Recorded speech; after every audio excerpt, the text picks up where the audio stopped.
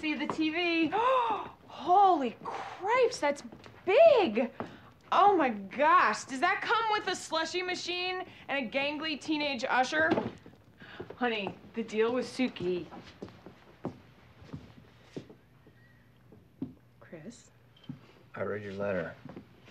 Honey, it's not a letter, it's just a character reference that Luke asked me to write for his court case. Reads like a letter, Oh, yeah? almost like a love letter. No, it's a favor that Luke asked because he needed. You know what? Before you go through a whole list of excuses, let me just ask Is our marriage for you basically just marking time? What? Now, come on, Laura. Of course not. I mean, obviously, you still have very deep feelings for the guy. No, no, I just have known him a long time and he's. Always been there, always will be there. Luke needed a character reference for court to prove that he deserves partial custody of April, and I know him really well. Yes, you do. And so it just made sense that he would ask me to write that character reference. I can't believe I just had coffee from his place. I mean, Coffee, it's- sweetie. I told you Sookie brought that, okay? We Do you, can. do, you, do you still talk to him? I mean, do you, do you see him? This is crazy. Hey, I got a right. I have a right to know. I, occasionally I see him because we live in the same town. Yeah, and I know you, Laura. And? And I know that you're not done with him.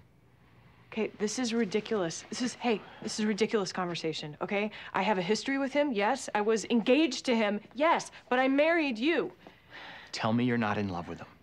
I'm not in love with him.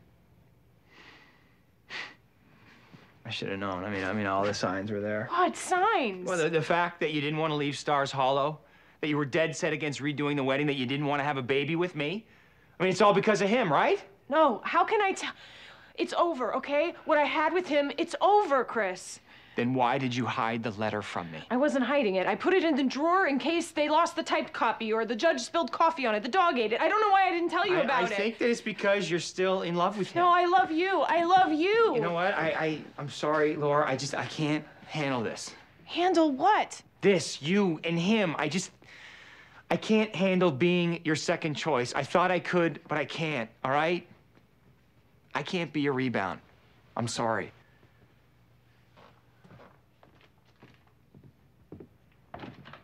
Christopher? Chris!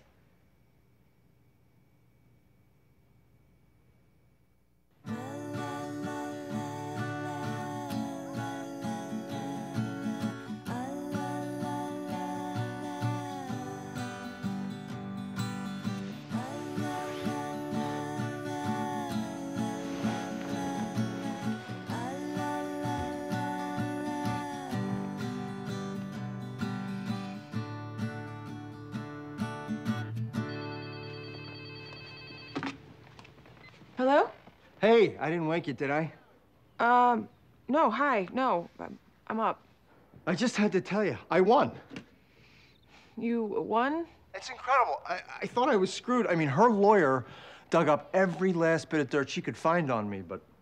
Oh, oh yeah, Luke, that's great. Yeah, the judge waited until this morning to give us her decision. Oh man, was that the longest night of my life? But I just got off with my lawyer. I get shared custody. Wow, congratulations. Yeah, I get to see April at least one weekend a month, every other major holiday. Half the summer, we're gonna work it all out. It's so great. So great. Yeah, I guess the judge just took everything into consideration and realized how much I wanted to be in April's life. And of course, your letter was a big help. Well, I just wanted to help you help April. Well, you did, and I'm really grateful. Anyway, uh, sorry to call so early. Uh, thanks again. Congratulations.